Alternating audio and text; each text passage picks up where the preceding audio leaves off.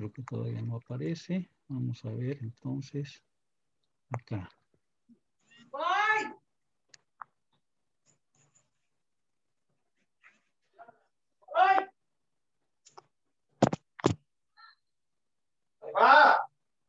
A ver, por ahí, por favor, un micrófono que anda prendido de alguien.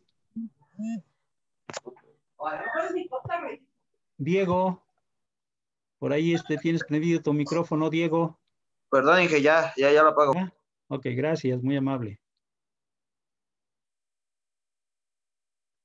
Les comparto ya la, el video, por favor, para que estén al pendiente. ¿Ya lo ven? Sí, Inge, ya se ve. ¿Ya? Ok. Bien.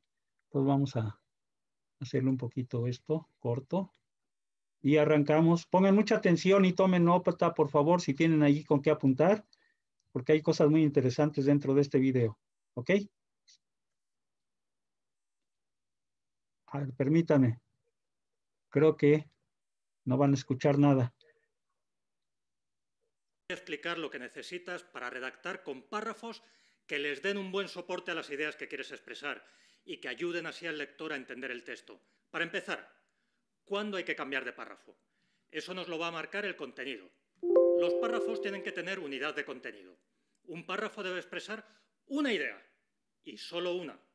Si te das cuenta de que en un párrafo estás mezclando dos o más ideas, es que estás haciendo algo mal. Tu texto tiene un problema estructural. Lo que debes hacer entonces es dividir ese párrafo en dos o en todos los que una sola idea. Es verdad que a veces existen ideas complejas que darían lugar a párrafos muy largos.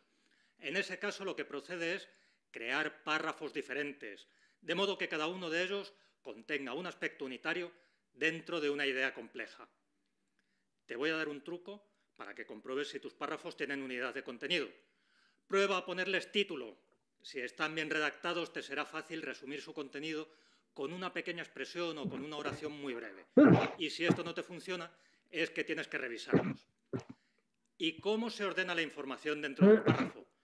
Lo más importante tiene que ir lo primero. Hay un principio básico de redacción que es que siempre tenemos que empezar por lo más importante. Esto se aplica a todos los niveles estructurales del texto. La información más importante va al principio de un texto, al principio de un capítulo, al principio de un apartado y al principio de un párrafo. ¿Y qué extensión tienen que tener los párrafos? Una vez más, eso nos lo va a marcar el contenido. Unos tendrán que ser más largos y otros más cortos. Todo depende de la idea que desarrollan. Pero como norma general, vamos a ir a por párrafos de una extensión intermedia. Ni muy largos, ni muy cortos. Orientativamente, 10, 12, hasta 15 líneas es una extensión que puede ser razonable. De esta forma, ayudamos al lector a seguir el texto. En general, hay que huir de los párrafos muy cortos y también de los muy largos, pero sobre todo de los párrafos que son muy largos. Los párrafos largos fatigan al lector y aumentan las posibilidades de que abandone el texto. Cada vez que cambiamos de párrafo al leer es como cuando llegamos al descansillo de una escalera. Nos sirve para tomar aliento y continuar la marcha. Si la escalera no se acaba nunca, acabamos perdiendo el ánimo y al final nos damos por vencidos. Así que nunca, nunca, pero nunca debes tener un párrafo que ocupe una página completa. Eso es veneno para el lector y te puedo garantizar que además es que ese párrafo está mal redactado. En el extremo opuesto, tampoco es bueno redactar con párrafos muy breves. Si miras tu página y te das cuenta de que estás redactando con párrafos de dos, tres, cuatro líneas, es que no estás desarrollando las ideas o es que estás poniendo en párrafos separados contenido que pertenece a uno solo. Esto también le resulta fatigoso al lector porque le estamos obligando constantemente a dar saltitos y además transmite la idea de un texto un poco deslavazado, un texto que no se ha trabajado lo suficiente. Lo que sí viene bien es incluir de vez en cuando un párrafo un poco más largo o uno un poco más corto, así evitamos la monotonía y ayudamos a la lectura. Y a veces, pero solo a veces, ¿eh? solo a veces, ojo, está bien incluir un párrafo muy breve que nos puede servir para remachar una idea, para llamar la atención sobre algo fundamental de nuestro escrito. Como ves, la cosa tiene su arte, pero es importante que nos tomemos en serio la división en párrafos, sobre todo en textos que no están organizados en capítulos ni en apartados, porque entonces los párrafos van a ser el único elemento estructural que le da pistas al lector sobre cómo está organizado, sobre cómo está distribuido el contenido de nuestro texto. O sea, dónde empieza y dónde acaba una idea. ¿Y cómo se marca la división de los párrafos? Siempre el final de un párrafo se indica con punto y aparte. Ponemos un punto y cambiamos de línea. ¿Pero qué hacemos a continuación? Hay dos procedimientos diferentes que no debemos mezclar. El primero consiste en sangrar la primera línea del párrafo siguiente. Esto quiere decir que metemos la primera línea un poquito a la derecha. Y el segundo procedimiento es simplemente dejar una línea en blanco entre párrafo y párrafo. Lo que no hay que hacer es mezclar lo uno y lo otro, porque eso es marcar dos veces lo mismo. Y eso no, no. Esto, esto no. El primer procedimiento se usa sobre todo con textos que están concebidos para una lectura más lineal, para un contenido más trabado, que se lee seguido. Por ejemplo, para una novela, para un trabajo académico. Y el segundo procedimiento se usa más con textos que vamos a leer entresacando información aquí y allá. Piensa, por ejemplo, en una carta comercial o en un informe técnico. El caso es que quien sabe redactar sabe también escoger el estilo de párrafo más adecuado al tipo de texto con el que está trabajando. Y otra cosa importante es que los párrafos deben ir divididos todos por igual. No puede ser, por ejemplo, que estés separando todos los párrafos con una línea en blanco y que de pronto llegues a uno y ahí hagas punto y aparte, pero no dejes línea en blanco. Esto es típico de principiantes. O es un párrafo o no es un párrafo, pero no hay nada intermedio entre el párrafo y el no párrafo. Y ahora, la curiosidad del día. Esta es una hermosa tradición del blog de lengua que inauguramos hoy oficialmente. En cada vídeo vamos a ver alguna palabra o algún dato curioso sobre nuestro idioma. Estos son cosas que no sabe nadie, solamente las sabe la nación de hablantes del blog de lengua. Hoy, para empezar, a que no sabías que todos los verbos nuevos van a parar a la primera conjugación. En español tenemos tres conjugaciones, amar, comer y vivir, ar, er, ir. Pero resulta que todos los verbos que inventamos hoy van a parar a la conjugación enar. Por ejemplo, whatsappear, escanear, clicar, todos, todos terminan en AR.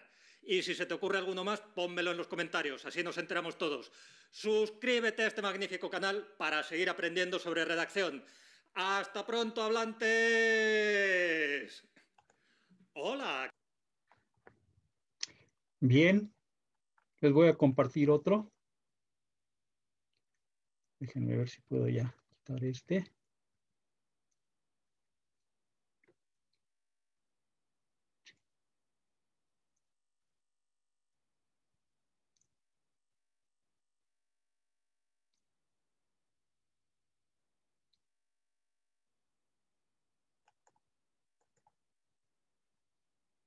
No sé si se alcance a ver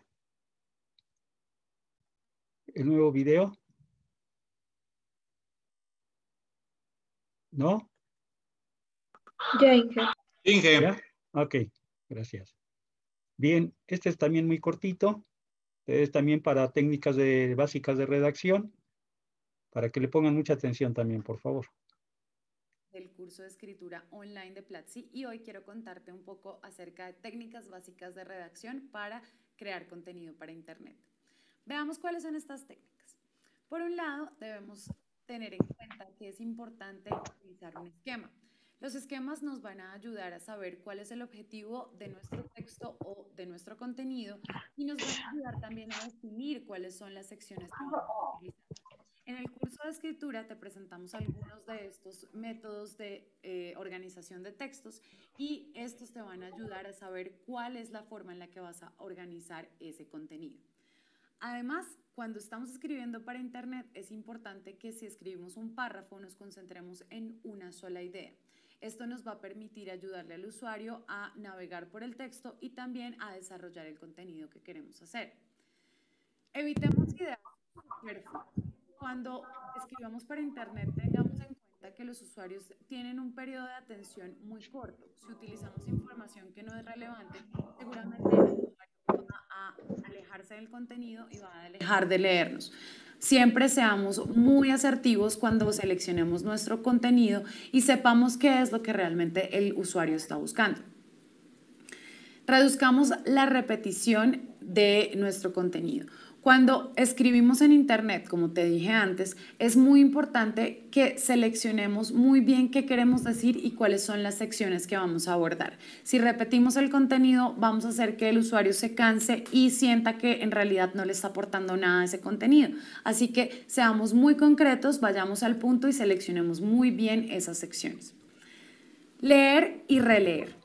No importa cuántas veces leas y releas tu texto, lo importante es identificar cuáles son esas fallas de usabilidad, cuáles son esas fallas de contenido, de gramática, de ortografía, que pueden estar en que texto no sea legible. No solamente léelo tú, sino también pídele a alguien más que lea ese texto por ti y así podrás identificar fallas que tú tal vez no estás viendo. Utiliza fuentes, fuentes que sean válidas como libros publicados en el área, artículos indexados, incluso artículos que estén dentro de sitios web, pero siempre verificando su validez. También te invito a que utilices testimonios o declaraciones de personas que sean autoridades en una industria particular, siempre teniendo en cuenta que la comunidad a quien le estás hablando valide esta información. Parafrasea. Cuando utilices esas fuentes de las que hablábamos hace un momento, es muy importante que tú también pongas tu voz allí. Nunca copies lo que dicen las personas textualmente, o bueno, hazlo una vez que otra, pero procura tú mismo parafrasear la información para que también el lector vea que tú estás aportando a ese texto. Reduce el uso de gerundios porque hacen que el texto suene repetitivo y además difícil de leer. Y finalmente, cuida mucho el estilo que tienes, pero esto solamente lo vas a alcanzar con mucha, mucha, mucha práctica. Cada uno, cada escritor y cada autor tiene su propio estilo, pero esto depende fundamentalmente de cómo lo desarrolla a través de la práctica. Si quieres aprender más acerca... Bien. Vamos a, les voy a pasar ahora.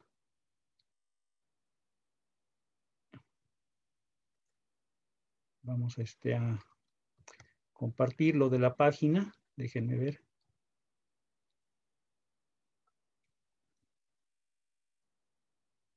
Aquí está, aquí está.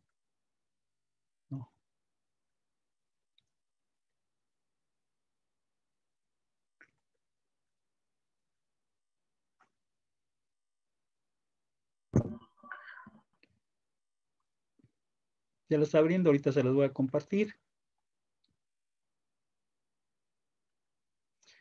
Eh, me estoy yendo a la plataforma. Vamos a ver qué es lo que tenemos allí en la plataforma.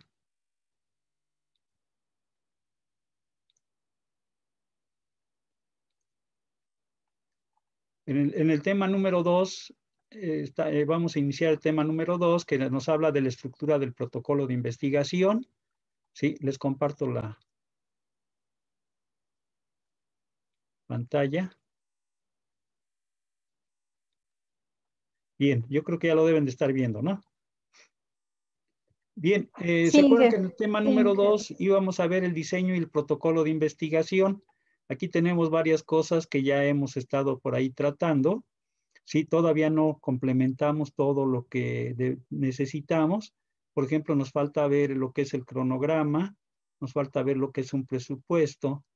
Entonces, eso lo vamos a ver también ahorita en este tema. Eh, allí aparece, si ustedes pueden ver en los recursos, todo lo que es el proyecto de investigación, los pasos para el protocolo de investigación, ¿sí? Y vamos a ver el día de hoy lo que es el manual de ortografía, porque en la siguiente clase les voy a aplicar una evaluación de ortografía. Entonces, para que ustedes vayan este, viendo más o menos de qué se va a tratar. Eh, hay también una guía de redacción, de lo que hemos empezado a ver el día de hoy también. Redacción y ortografía van de manera muy, muy este, ligada. Y posteriormente vamos a ver lo que es la bitácora y el cronograma. ¿sí? Y aquí también veremos también lo que corresponde al presupuesto, cómo se, se, se arma un presupuesto, que ya algunos de ustedes o muchos de ustedes a lo mejor ya los han visto. Bien, vamos a iniciar entonces con el manual de ortografía. Esto lo vamos a ir viendo, pues ya lo hemos ido este, viendo poco a poco, pero todavía nos falta, falta ver algunas otras cosas. Vamos a ver el manual de ortografía de qué se trata. Vamos a entenderlo un poquito. Se los voy a compartir. Está abriendo ahorita la página. Ahorita se los acabo de compartir. A ver. Espero, si ya se ve, díganme, y si no, para volvérselos a mostrar. ¿Ya se ve el manual? No. No, ah, es lo que quiero que. Sí. A ver, se los comparto, entonces. Ya ahora, ahora sí ya se debe de ver. Sí, Inge, ya se ve. ¿Sí? Ya se ve, ok. Dice ahí taller de ortografía y análisis de textos. Nosotros vamos a ver nada más ahorita el taller de, de ortografía. No nos vamos a meter todavía en análisis de textos porque apenas vamos a iniciar. ¿Sí? Bien, ¿en qué, ¿de qué consiste este manual? Bien, vamos a ver de qué se trata, ¿no? Sí, entonces vamos a ver cuál es el objetivo de este manual. Dice aquí que al finalizar ¿sí? este curso, el participante habrá adquirido las herramientas básicas necesarias tanto de gramática como de análisis de textos para la, la elaboración de documentación de manera general a nivel laboral y a nivel personal. Bien, eh, no vamos a ver todo el curso, todo el taller, ¿verdad? Vamos a ver nada más la parte que corresponde a las herramientas básicas. Sí, no nos vamos a meter a los análisis de textos, esto pues ya es un poco más profundo, pero nos interesa más que nada eh, hacer un repaso, porque esto ustedes ya lo conocen, las herramientas básicas que se utilizan para formar un texto, armar un artículo, ustedes ya los conocen desde que estaban seguramente en la primaria. Entonces, este es simplemente un repaso, un recordatorio para que ustedes puedan entrar con toda la confianza en, el, ¿sí? en la evaluación que yo les voy a hacer de ortografía. Les digo, ustedes ya, ya deben de tener mucho de esto, muchas bases de estas, y si no, nada más es un pequeño recordatorio. Bien, nos dice en la introducción, sí, les voy a pedir que me ayuden ustedes, algunos de ustedes, a leer esto para que lo compartamos de manera general. Le voy a pedir, ahora sí, como va, vamos a ver a García Gutiérrez, si está, por favor, para que me ayude a leer esto que está aquí en la introducción, en esta primer, estos tres párrafos que están aquí, perdón, estos dos párrafos. Si me ayuda, por favor. García Gutiérrez. párrafos. Todo. Una sociedad en la que, el conocimiento se hace indispensable y el beneficio del mismo es, es cada vez mayor en los hábitos en los que el hombre está inmerso, en donde los contenidos son dinámicos no solo en cuanto a su elaboración, sino en cuanto a sus formas de presentación, de comunicación y a sus fuentes se hace necesario poder procesar grandes cantidades de información rápidamente y con efectividad. Un aspecto principal e inicial de estos procesos es la lectura suficiente como la gran herramienta para hacerlo. Indudablemente de una lectura eficiente se deriva una escritura eficiente. Cuando, cuando leemos, no solo procesamos información, sino que abordamos los procesos comunicativos, específicamente el lenguaje, entendido no solo como el idioma en el que se comunican los grupos sociales, sino como todos los procesos cognitivos eh, que implican esa maravillosa capacidad propia de la persona. Estos procesos son universales, razón por la cual no tienen idioma, sino representaciones mentales.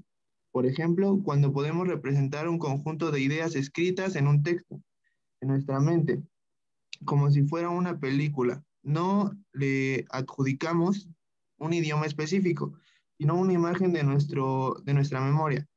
Esa eh, representación mental eh, que se produce es cognitiva y obedece a la utilización de los procesos básicos de pensamiento, observación, clasificación, análisis, síntesis, evaluación, etc. Muy bien, muchas gracias, García Gutiérrez. Sí, eh, como ustedes pueden ver, aquí hay, aquí hay unos aspectos muy importantes. Por ejemplo, dice que cuando leemos, no solo procesamos la información, sino que abordamos procesos comunicativos, ¿sí? Específicamente el lenguaje. Esta parte es importante, ¿no? Y también nos dice por ahí que muchas veces lo que leemos es como si estuviéramos viendo una película y efectivamente nuestra imaginación empieza a trabajar de inmediato cuando vamos leyendo, ¿sí?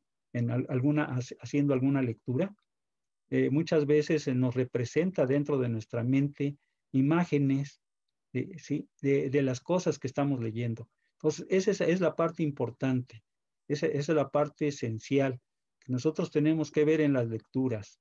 ¿sí? Desarrollar nuestra imaginación, desarrollar también, ¿verdad? Eh, todos esos procesos internos de nuestro pensamiento para poder pues llegar a todo lo que nos marca lo que es la investigación, como es la observación, la clasificación, el análisis, todo esto es parte de una investigación. Bien, le voy a, le voy a pedir por favor al, a otro compañero que me ayude a leer lo que está aquí dentro de todos estos párrafos, por favor. Le voy a pedir a González Rodríguez, si me hace favor de leer. Ok. La intención del lector cuando realiza la lectura, su captación. Así, en la misma actividad, leer, realizamos tareas diferentes. Si leemos para encontrar una información específica o para captar la idea general, leemos en profundidad para conocer un texto determinado o si leemos para establecer un juicio crítico. Para todo ser humano, pensar, escribir y comunicarse bien deberían ser una de sus metas, una de sus principales metas, ya que esas mismas son características de personas que se distinguen y son amantes del progreso. Es la educación de la palabra, la expresión clara, concisa, precisa y breve, en ocasiones imprescindible en nuestra época para lograr la eficacia que cualquier negocio o empresa necesitan. Uno de los propósitos de la enseñanza de la lengua es fortalecer las destrezas lingüísticas básicas. Para la ortografía representa una herramienta indispensable. Se tiene claro que si falta aprendizaje de la lengua, fallarán los demás aprendizajes. ¿Cómo aprendimos biología, historia, física y además asignaturas? En buena medida leyendo. ¿Cómo demostramos esos conocimientos? Muchas veces escribiendo y hablando. Por todo lo anterior, debemos considerar a la redacción como la forma de saber expresar de manera coherente y precisa las ideas, emociones y sentimientos. Muy bien, muy amable, muchas gracias. Sí, aquí nada más recalcar algo que se perdió cuando nos estabas ah, leyendo. Sí, fortalecer, dice, las destrezas lingüísticas básicas. Sí, es el propósito de la enseñanza, como es el hablar, el escuchar, el leer y el escribir. Entonces, esta, esta parte pues, es muy importante que debemos de tomar en consideración, ¿ok? Y principalmente cuando estamos nosotros eh, empezando lo que es una redacción. Entonces, hay que tomar en cuenta muchos de estos detalles. Como ustedes pueden ver, este, documento está dentro de la plataforma. Ustedes lo pueden leer, ¿verdad? Con un poco más de calma. Eh, ahora que tenga ya un poco de tiempo, léanlo, ¿sí? Y les va a dejar aquí, hay muchas cosas muy interesantes realmente. Bien, le voy a pedir a otra persona que me ayude a leer este párrafo hasta donde dice nada más desarrollamos. Le voy a pedir por favor a Hernández García Alan, si está por ahí. Sí, sí, adelante. Se dice que cuando organizamos nuestros pensamientos sabemos hablar y también redactar, por lo que será necesario darse a la tarea de aprender cómo llevar a cabo este proceso y de la organización de Nada sirven las ideas brillantes si no están expresadas con claridad y precisión. Por lo anteriormente descrito, el contenido del taller pretende otorgar herramientas que contribuyan al mejoramiento de nuestra redacción, ya sea personal o en el ambiente laboral en el cual nos desarrollamos. Muy bien, hasta ahí está bien, perfecto. Muchas gracias. Hasta ahí, ¿verdad? Hernández, sí. Vamos a, a ver otra parte aquí. Importante, vamos a saltarnos. Y aquí es donde va a iniciar prácticamente lo que corresponde al taller de ortografía. Bien, le voy a pedir a otra persona, por favor, que me ayude a leer esta parte de aquí, estos párrafos. Le voy a pedir a Hernández Hilario Margarita, si me hace favor de leer esta parte. Sí, sí. Elementos básicos de ortografía. Objetivo específico. Que la, que la participación No, que el participio de acentuación en las palabras, así como su aplicación de acuerdo a los ejemplos proporcionados en la primera parte del taller. Ortografía, del griego ortos, recto, justo, y grafia, estructura. En la parte de la gramática que enseña a escribir correctamente, la ortografía como elemento sustentable en la elaboración de documentación. Resulta de gran utilidad para producir elementos de calidad en nuestro quehacer. ¡No! no. Por favor, ahí, Michelle. Sí, Michelle, por ahí se oye tu micrófono. Sí, por favor, apaga. ¡Ay, qué Ay, Tomasa. Perdón, perdón. Michelle Álvarez, por favor. Bien, vamos a, le voy a pedir aquí a Hernández Martínez y me lee por favor lo que son las reglas de puntuación y acentuación, hasta donde está aquí la parte, sería toda esta parte de aquí, por favor. Las reglas de puntuación y acentuación llevan acento o en, en consonantes N, S o vocal. Ejemplos, café, compás, león, manatí las palabras graves o llanas terminadas en consonante que no sean N, S o vocal. Ejemplo, árbol, cáliz, carácter. Todas las palabras esdrújulas y sobreesdrújulas se acentúan ortográficamente. Ejemplos, cántaro, húmedo, héroe. Últimamente, díganse. Muy bien, bueno, este ya es un pequeño recordatorio, ¿verdad? Eh, esto ya lo vimos nosotros anteriormente, ustedes lo habrán visto también seguramente. Cuando nos hablan de palabras agudas, ¿sí? de palabras graves y de palabras esdrújulas, ¿sí? acuérdense que estas están compuestas, lógicamente, de acuerdo a la cantidad de letras que lleva y a la acentuación final principalmente. Por ejemplo, las palabras agudas, dice, son aquellas terminadas en vocal, en y en consonantes N, S o una vocal. Y dice que aquí todas deben de llevar acento ortográfico. Ustedes han de recordar que hay dos tipos de acento. No sé quién se acuerde cuántos acentos tenemos. ¿Sí? Yo le estoy diciendo que son dos. Pero a ver, si se acuerdan, uno es el ortográfico y el otro, ¿cuál es? El diacrítico. El diacrítico, muy bien. ¿Sí? Tenemos aquí eh, diferentes palabras, dice aquí agudas, palabras graves, ¿sí? Y palabras esdrújulas o sobreesdrújulas. Acuérdense que esto va a depender de qué? Del número de, de, sílabas que lleva cada una de estas palabras. Nada más es un pequeño recordatorio, esto ustedes lo aprendieron, ¿sí? Ah, le voy a pedir a otra persona que me ayude a, a leer las excepciones, ¿sí? Sería hasta la letra E, por favor a Hernández Medina. Hernández Medina. Excepcionales más importantes del acento. Los monosílabos no llevan acento excepto a, sí, adverbio de afirmación, nombre, pronombre, para no confundirlo con sí, conjunción. Ejemplo, si me dices que sí, vendrás de paseo. B, de y C, verbos, para no confundirlos con de, preposición y C, pronombre. Ejemplo, es mejor que Laura te dé la información. Sé muy bien que ella es feliz. C, él, tú, mi. Pronombres para no confundirlos con el artículo y tú, mi adjetivos. Ejemplo, ¿tú quieres ir? Eso es para mí. Mi desempeño es el mejor. Tu bolso es lindo de más adverbio para no confundirlo con más conjunción. Ejemplo, quiero más pan, más no tostado. Eh, la conjunción cuando esté colocada entre números para no confundirla con el cero. Ejemplo, tengo ocho o nueve estampas. Iré hoy o mañana. Muy bien, muchas gracias.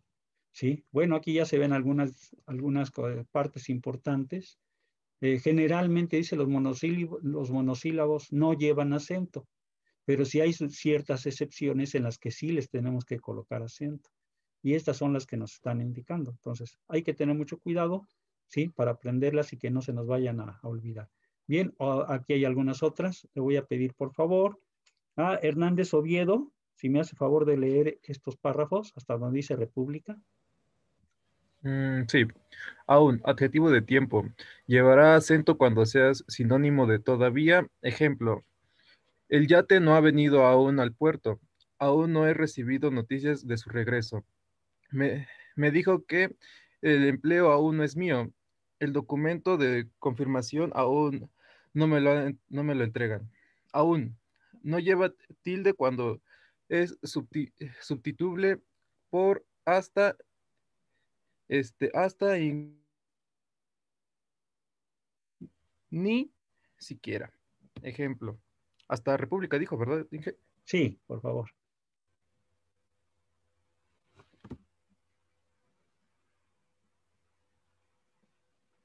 Bueno, ¿me escuchan?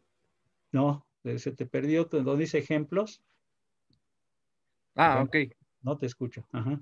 Ah, ok, es que, está muy lento mi internet por eso. Ah, ok. Eh, ejemplo, le, votaron tantas socialistas como liberales y aún algunos de, la derecha. Sus, jefes le ordenaron quedarse en el lugar de los hechos, aún en caso de no solicitar su presencia. El aprendizaje de la ortografía es independizable aún en actividades no referentes a la lingüística. Su reunión, su, reunión se reunió toda la familia, aún los familiares que se encontraban en el interior de la República. Muy bien, hasta ahí está bien. Muy bien. Jóvenes, entonces, eh, como ustedes pueden ver, también aún, ¿verdad? Pertenece a esas excepciones que nosotros, sí, eh, o hablamos de los monosílabos, ¿no? Que llevan las excepciones del, acento. Entonces, hay que, hay que ver que son, pues no son tantas palabras tampoco, ¿sí? Pero sí hay que aprenderlas en qué momento saberlas utilizar. Bien, le voy a pedir a otra persona que me ayude con donde dice las palabras, ¿sí? Hasta lo que se ve aquí dentro de la imagen. A Hernández Romero, por favor. Cristian. Este sí, ¿hasta dónde me dijo que le desde aquí donde dice las palabras hasta el final. Que se ve la imagen, hasta, hasta feria. Ah, ok, ok, ok, ok.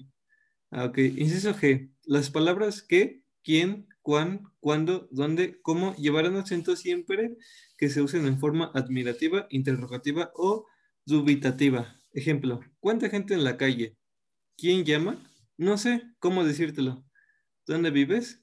Inciso H. Cuando la palabra termina en io y a sobre la i o u, colocaremos un acento, deshaciéndose del diptongo o a diptongo. Ejemplo, alegría, caserío, gentío, María, Raúl, baúl. Inciso I, excepto las palabras graves terminadas en estas vocales. Ejemplo, guardia, garfio, media, radio, feria. ¿Listo? Bien, hasta ahí está bien. Ok. Bueno, aquí ya no están hablando de principalmente de las palabras que se utilizan mucho para preguntas, ¿sí? O donde utilizamos, por ejemplo, signos admirativos. Eh, también debemos de poner, colocar el acento correspondiente. También nos dice dónde, ¿verdad? Dónde no lo debemos de hacer. Entonces, hay que tener también mucho cuidado por ahí, ¿sí? Eh, fácilmente nos podemos equivocar si no conocemos las reglas ortográficas. Eh, le voy a pedir, por favor, a Herrera Vergara, Emerson, si me ayuda por favor con el uso correcto de las mayúsculas, nada más hasta aquí donde dice taller. Uso correcto de mayúsculas. Objetivo específico.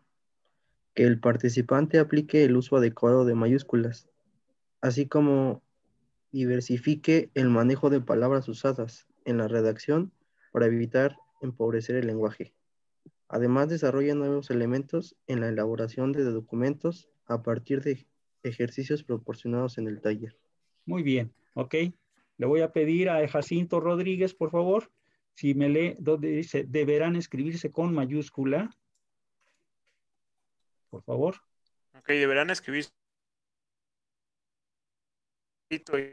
después de punto y seguido o punto y final, todo nombre propio Pedro, Rodríguez, Colombia, Veracruz, los atributos divinos, el, el Salvador, el Redentor, los títulos y nombre de dignidad.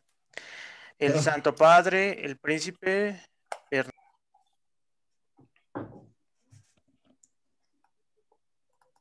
A ver, ya se cortó por ahí. Tu, sí, no ¿Sí se me escucha? tu. No, ahorita ya no. Desde dice los apodos. Eh, ¿Sí me escucha ahora sí? Sí, sí, adelante. Eh, los apodos. Chuncho, el Roto, María Félix, la, la Doña. Los cargos importantes cuando equivalen a nombres propios, el papá, el rey, el primer ministro, etc. Las palabras que formen el nombre de una institución, museo de, de antropología, ah, ok, muy bien, hasta ahí ya se cortó tu micrófono, pero ya, ya lo le, casi lo terminaste.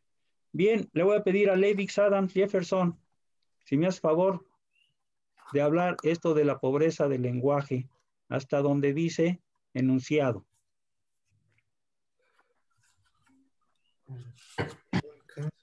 pobreza del lenguaje, del lenguaje. En el momento en que nos enfre- enfrentamos a la tarea de redactar un documento, cualquiera Ah, elaborarlo de tal manera que se lea y escuche. Claro. ¿Sí me escucha? Sí, adelante, sigue. Se había cortado. Ah, ya le voy a poner el... Específico, sin cómo redundancia y sobre todo que las palabras de las que hagamos uso no sean repetitivas. Esto es dejar de utilizar constantemente las palabras que, cosa y algo. Solo como brevario cultural me enseñaremos que nuestro idioma español es tan vasto en su vocabulario, está considerado como uno de los seis idiomas oficiales del mundo además de ocupar el segundo lugar después del chino mandarín como la lengua materna más hablada. Por otro lado, el español es el segundo idioma más estudiado en el mundo, después del inglés, por lo que esto nos da amplias razones para escribir y hablar adecuadamente. Se recomienda sustituir las palabras que, cosa, algo, por otras que le den mayor precisión al sentido del enunciado. Muy bien. Sí, eh, aquí nos están, eh, ¿verdad?, dando un pequeño tip, cosa que generalmente repetimos de manera muy constante. Por eso nos dice que se recomienda sustituir palabras, la palabra que, la palabra cosa y la palabra algo, por otras palabras que tengan mejor sentido, ya que utilizamos mucho estas tres palabras, ¿sí? Y a veces las repetimos de manera incorrecta, ¿no? Por ejemplo, ¿sí? Aquí van a bien unos ejemplos. Le voy a pedir, por favor, a Mendoza Rivera, que si me puede ayudar con los ejemplos. Sí. Ejemplos. Este documento tiene algo equivocado, incorrecto. Este documento tiene el destinatario equivocado. Esto es algo cruel, incorrecto. Es una crueldad. Tener el reconocimiento de las autoridades, incorrecto. Lograr el reconocimiento de las autoridades.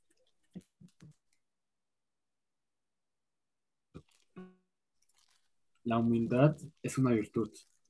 Muy bien. Entonces, como ustedes pueden ver, aquí hay varias, varias este, frases, oraciones Hay que en el cual nos están indicando el uso de estas palabras que no son las correctas. Algo, ¿sí? Aquí otra vez algo. Aquí tener el reconocimiento de las autoridades, ¿sí? En lugar de tener, es lograr, por ejemplo. La humildad es una cosa muy rara, la humildad es una virtud. Entonces, aquí el una cosa, aquí está la palabra cosa, que son de las tres palabras que nos están aquí diciendo que tratemos de evitarlas. Entonces, esto le da mejor, más sentido, por eso debemos de, de no utilizarlas, ¿no? Bien, a ver quién me va a ayudar con el uso correcto de las grafías de la letra C, S y H. Le voy a pedir a Molano Sierra, por favor, si lee lo que está en la pantalla. Sí, sí. Uso correcto de grafías, letras C, S. Participe el uso ver, correcto micrófono de no se escucha muy grafías bien. para cada ejercicio. Para, para cada ejercicio que se le solicite de acuerdo a la información revisada en el taller. Ah, ya se perdió otra vez tu voz. Escribir con C las palabras que terminen en asea, aseo, ansia, cia, cio. Ejemplo, cactácea, viol- violacia, ganancia, violencia, clemencia, cansancio. Muy bien. La terminación ción o ción se emplea de acuerdo a las palabras de las que se originan tales como efecto, afección, calefactor, calefacción, ficticio, ficción, atractivo, atracción, contracto, contracción. Otros ejemplos, imperfección, putrefacción, destrucción,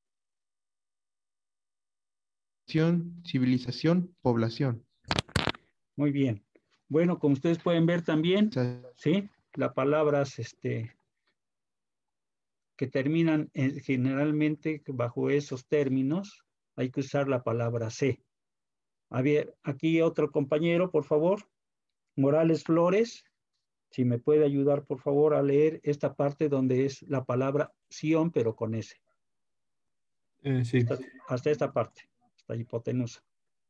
sí, está bien. Este, palabras que terminan en ción. Ejemplos, pretensión, precisión, suspensión, decisión, dispersión, expulsión, profesión y revisión.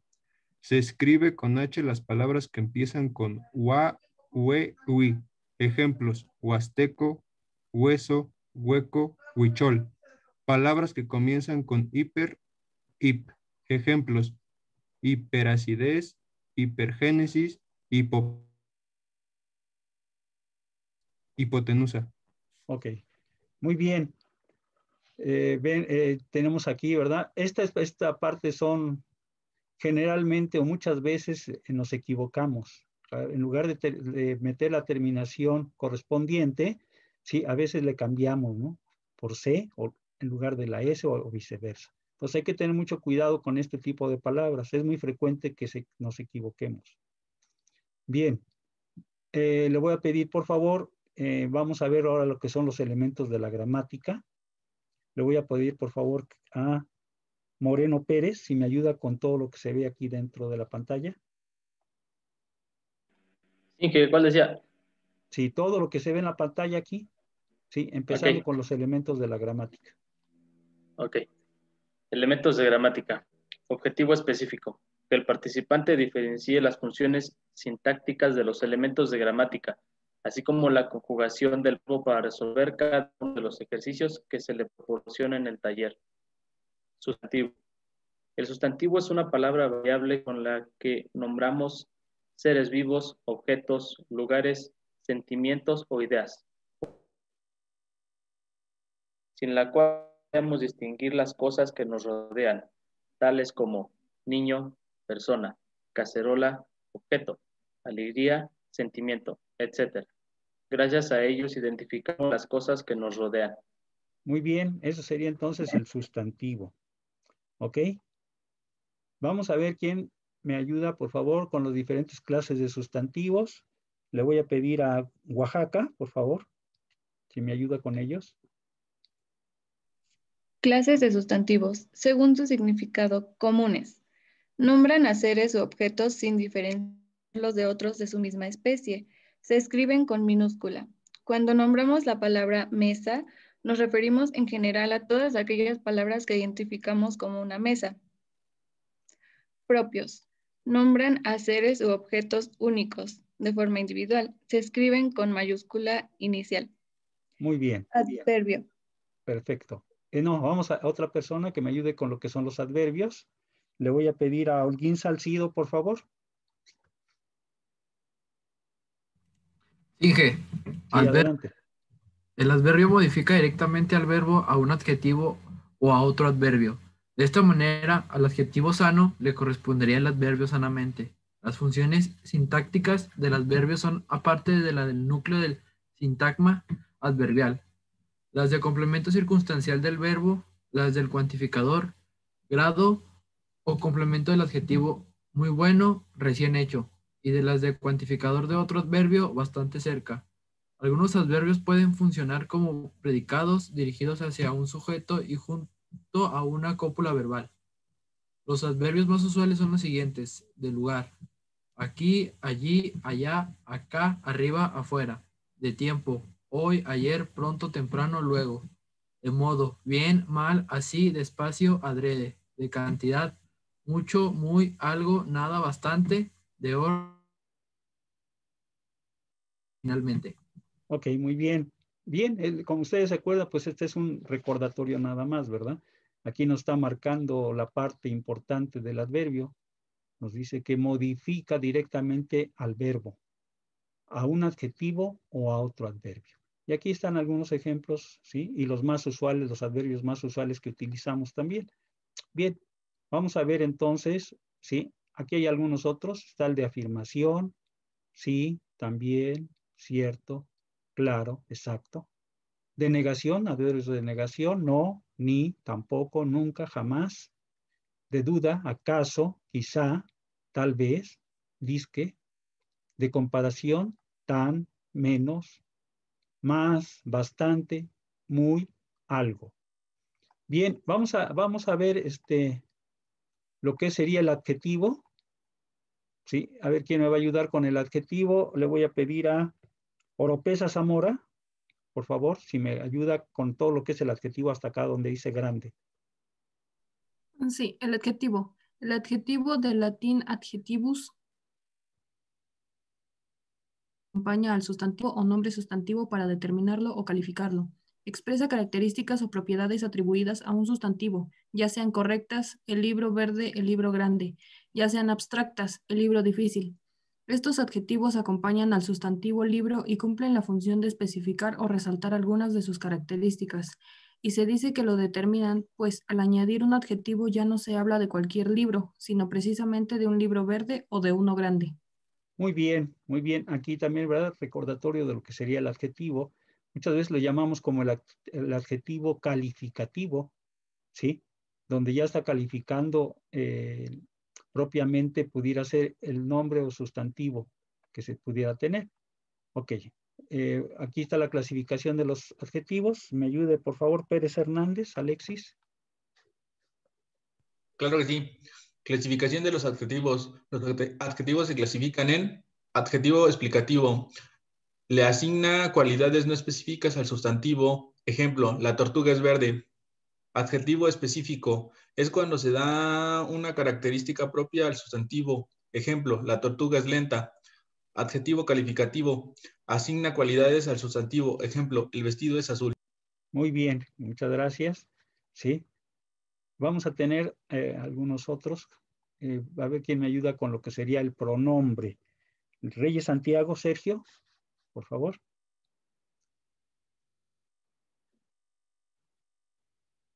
¿No está Reyes Santiago? ¿Ya se nos fue?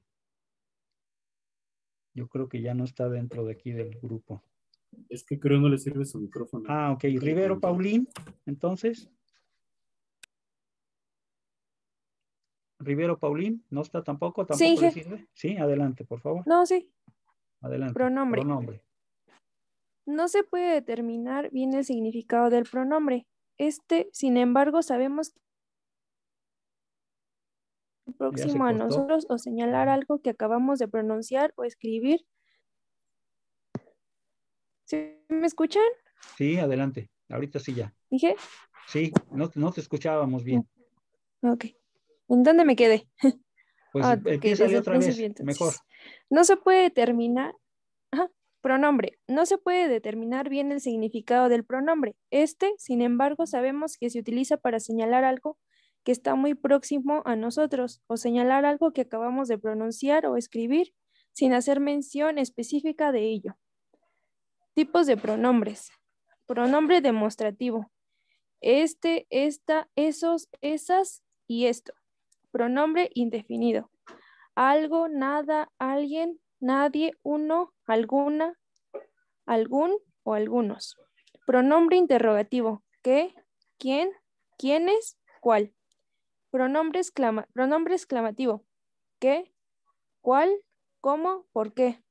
Pronombre personal. Yo, tú, él, mi, os. Pronombre posesivo. Mi o nuestro. Pronombre relativo. ¿Qué? ¿Quién? ¿Él? ¿Cuál? Muy bien, ¿sí? Entonces, estamos aquí recordando lo que serían los pronombres, ¿sí? Que podemos nosotros utilizar. Bien, vamos a, creo que aquí terminaría. A ver, nada, nos faltaría el verbo. Por favor, que me ayude entonces, este, Salazar Martín. Sí, ok. El verbo es la parte cambiante o variable de las oraciones que manifiesta acción, pasión o existencia de las personas o cosas. Con esto queremos decir que el sujeto es o realiza alguna acción. Adelante con estos dos que dice, por favor, lo demás. Clasificación de los verbos. Sí, tú misma. Por Clasificación de los verbos. Ok, por su composición. Regulares son los que no cambian su lexema, raíz de las palabras. Solo los gramemas verbales, terminaciones de las palabras. Ejemplo, acabar, aprender, abrir, etc. Ejemplo de conjugación. Yo acabo, tú acabas, él acaba, nosotros acabamos, ustedes acaban, ellos acaban. Irregulares son los que tienen diferente lexema y gramema verbales. Si un verbo cambia la terminación de un tipo de lexema, estará dentro de las formas irregulares. Ejemplo, empezar, ser, repetir.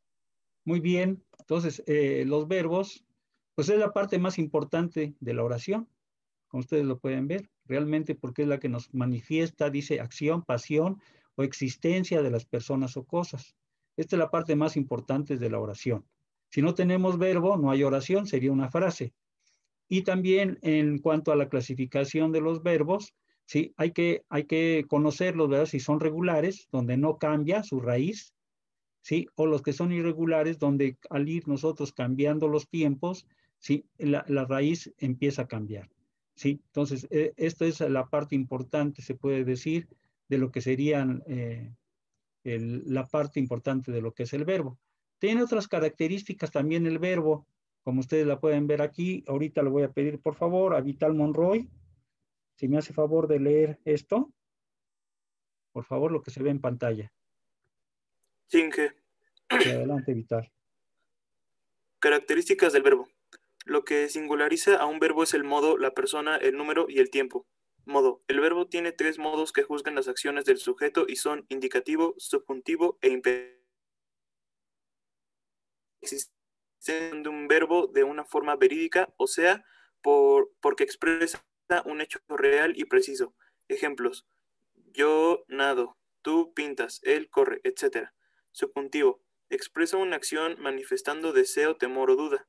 El subjuntivo dependerá siempre del indicativo. Ejemplos. Quiero que sepas la verdad.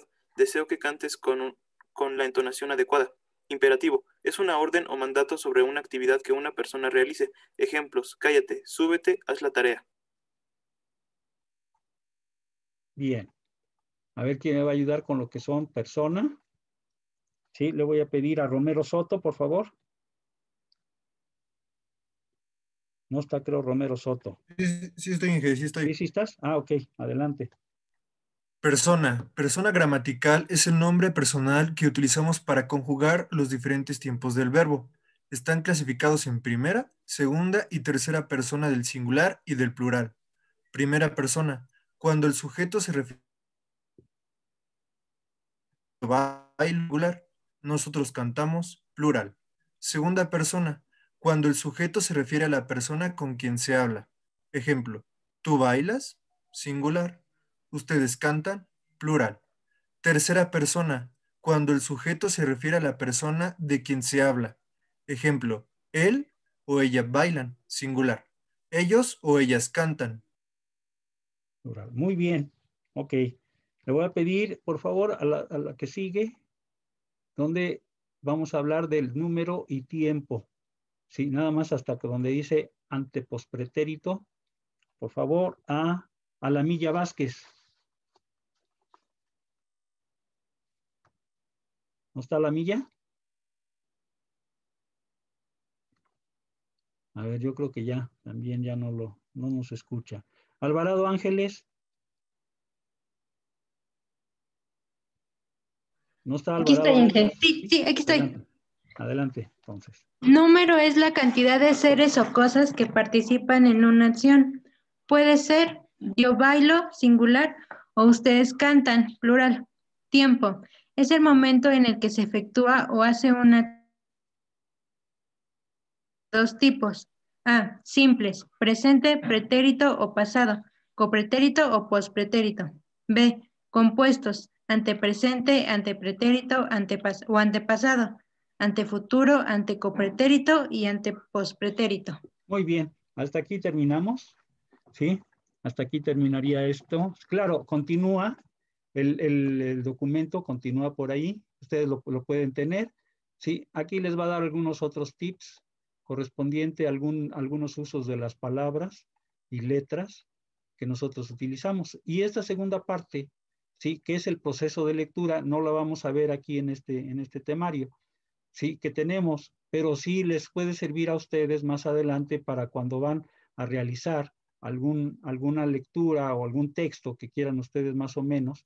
Sí, trae cosas muy interesantes, trae parte de lo que son algunas lecturas, hacen algunos análisis de las lecturas correspondientes, sí, y nos dan algunos tips también, por ejemplo, para leer o para ah, realizar textos. Entonces, este, es importante que ustedes por ahí, si tienen tiempo, pues échenle un vistazo.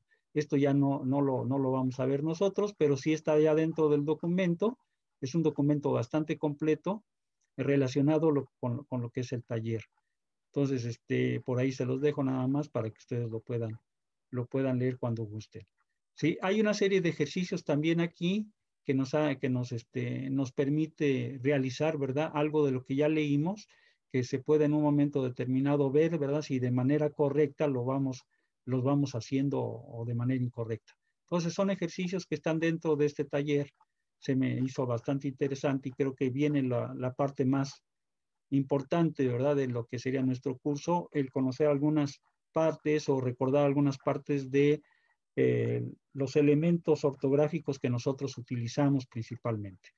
Bien, con esto terminaríamos la clase del día de hoy. La próxima clase va a haber una evalua- evaluación de ortografía para que le den ustedes un pequeño repaso a estos apuntes o cualquier, os- cualquier otro apunte que les permite en un momento determinado realizar un buen, una buena evaluación de la ortografía que traen ustedes desde, ¿verdad? Desde que empezamos a estudiar prácticamente, que es cuando nos van enseñando.